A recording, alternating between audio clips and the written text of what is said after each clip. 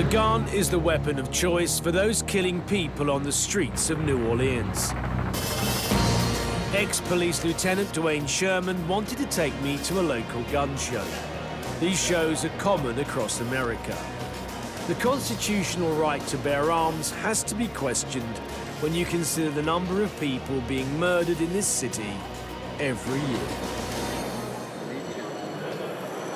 How easy would it be for me now to buy a weapon? How much of a check would he run on me if I was a Louisiana uh, citizen? He'd just look He at would- my, my, my take- driver's he would license. take a, a, an official ID, like your Louisiana driver's license, a Louisiana ID card. He would run a background check on you through the federal government to see that you, you do not have any felony convictions Mm-hmm. uh, and that you're not under protective orders, things of that nature that would normally prohibit a person from possessing a- or owning a firearm. If you pass all of those things and you qualify as a citizen, then you can purchase a firearm, pay for it, and walk away with it. Okay, just say I am uh, a person with previous convictions. Uh, what's stopping me getting you to buy me a gun? Nothing. Very little. Um, it's illegal. The law says you can't do it, but it does happen in some cases. Also, I mean, you know, again, all these guns here are, are made to be concealed about a person. They're not. They're not. They're not to fit inside a side holster. They're actually to be concealed about your person. So the person that you bump into, have an argument with, can pull that weapon. But, but why? Why does it have to be concealed? Why not wear it on your on your hip? You, in Louisiana, you can, anybody can wear it on their hip as long as they're not a felon. We have an open carry law in Louisiana, as long as you're not an alcoholic beverage outlet. So as long as I'm not drinking alcohol, I can wear anywhere I like with a gun on my hip. Correct. These are assault weapons. These are ones that you'd find in Afghanistan, in Iraq, right? That are military carries, with the exception that they're semi-automatic. Yeah, but if you keep pulling your finger quickly enough, Correct. it becomes automatic. This yeah? is, but if you look at the number of guns that are owned by Americans, the number of people killed is small, while it may be higher than the rest of the Western World. civilized world. that's for sure. But this is, I mean, you look around, you have all of these guns, all of this ammunition. This is good, honest Americans exercising what our founding fathers gave us. What, the right to bear Amendment. arms? Correct. Look in other parts of the world where you have a- an oppressive government, and many Americans would say that this government is becoming overly oppressive. And the right of the citizen, the Minuteman, the soldier who, who, who made us a free country, it was his own private rifles. If I can trust the government to have soldiers with assault rifle, why doesn't my country trust me to have an assault rifle? I think the tourists that visit New Orleans would be shocked at the levels of violence that this city experiences on a daily basis. The truth is, this problem was around before Katrina, and now it is only getting worse. In the poorer areas of this city, the streets are deserted, with people too afraid to venture outside their homes. We've tried to talk to the police on a number of occasions to find out how they attempt to keep the peace, but they have refused to talk to us. One man who knows how this city works and is prepared to talk is retired NOPD Lieutenant Dwayne Scheuermann. During a checkered career, he received numerous complaints from the public, ranging from brutality to illegal searches and rape. He was cleared on all charges. But he was also revered by his colleagues as a workhorse and an unparalleled leader who worked the most dangerous areas of this city. So, Dwayne, this is one of the tougher areas in New Orleans, right? Correct. And it's an area that you used to police. Correct. In terms of the violence that goes on here, and we know the violence isn't, isn't necessarily gang-related, but it can be narcotic-related in terms of people fighting for territory, right? Correct. But, but that fighting that goes on is generally between families or individuals. It's between those groups engaged in the narcotics trade, but it can branch out in retaliation uh, style killings. So, i.e., it's more, it's more clan-like, it's family against family.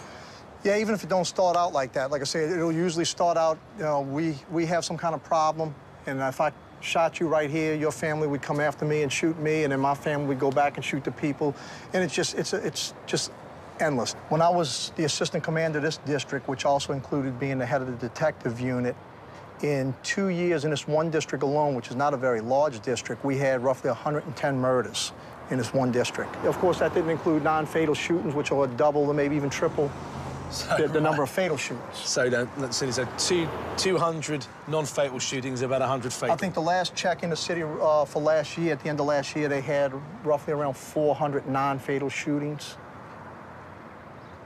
Not a big city, is it? No, and not as far as most people think of big cities. There are some 50,000 houses in this city that are still unoccupied after Correct. Katrina. I mean, for instance, look, this, I mean, just explain to me what this means.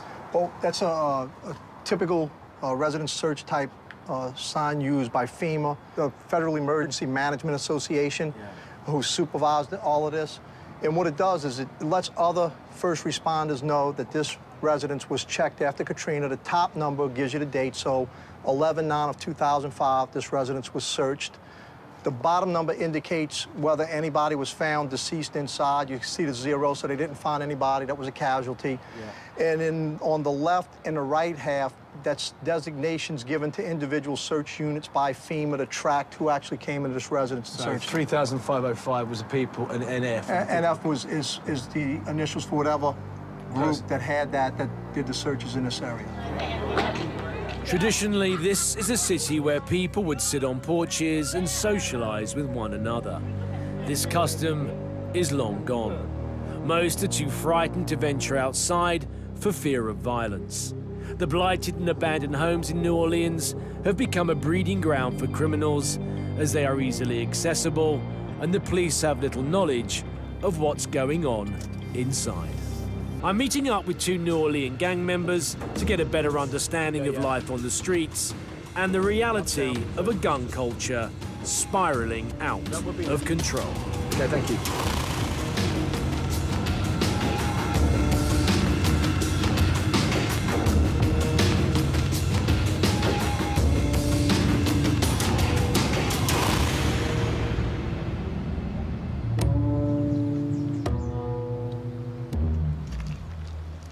The youngsters is crazy. It's wild. I don't play with these little boys out here. Also, I got refugee recognition. You see this cross right here? Mm-hmm. This cross means I was a murderer. This cross right here means I wasn't playing. This not for decoration. They, know, if they deal with me, they got to come right. They got to know their homework when they fuck with me. Were you here when Katrina struck? Yes, I was. I swim in that dirty ass water.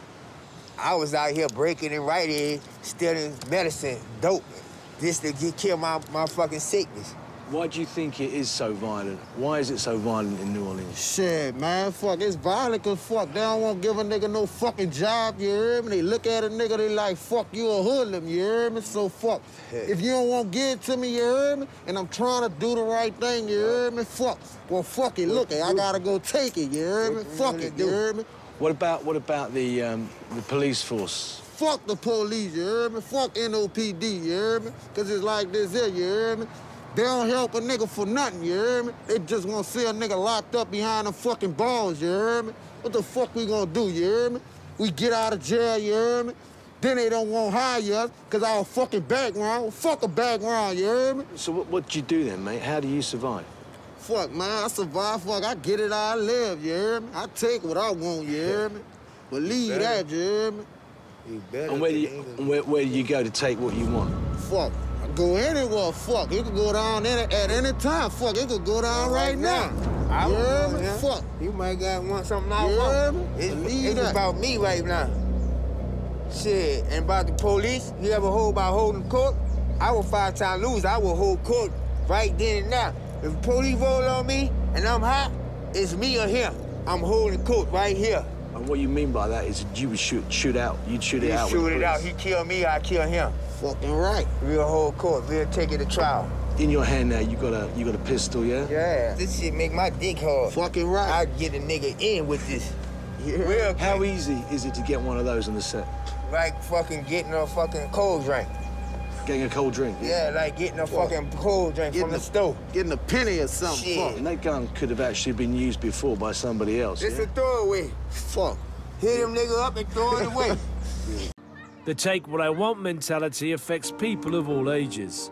Verna is very typical of what's happening here. She's a single mum struggling to cope, with a young son facing a prison sentence for armed robbery. Tomorrow is a pretty important day, not only in your life, but also in Rayshon's, your son's life, yeah? It's a new beginning for something. I don't know what it is, but it's a new beginning for something. He could possibly go to prison for a very long time, couldn't he?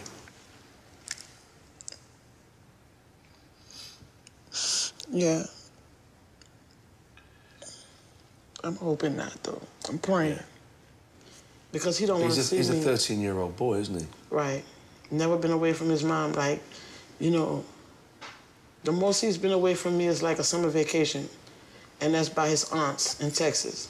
Your son has no previous convictions, particularly not for the crime that, that he's now pleaded guilty to, to armed robbery. Yeah. What, what, what do you know about what happened? Rashawn had a gun on him, and what happened, he didn't, they say he didn't point the gun, but he had the gun in his hand while he was committing a robbery to somebody. They, had, they held up an old lady, yeah? Yeah, and an older man. The robbery was committed with, uh, with another young man who lives around the corner, yeah? Yeah, In that neighbourhood. yeah. Do you know what the maximum sentence he could be given to Morris? He can be given um, anywhere from probation to juvenile life till he's 21, So, so he could be going away effectively for seven, eight, eight years. years. If that happens, what, how are you going to feel? I don't know. I don't know. I don't know. He's my only boy. He's my only son. I don't know. How are you feeling?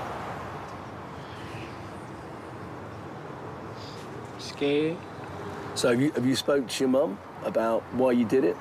Why you and the guy when robbed those people? What did you say to her? I just told her that I was just being crazy that day, and that at the moment, I was just happy I got a, I got a gun in my hand, and I did it. Like I just did it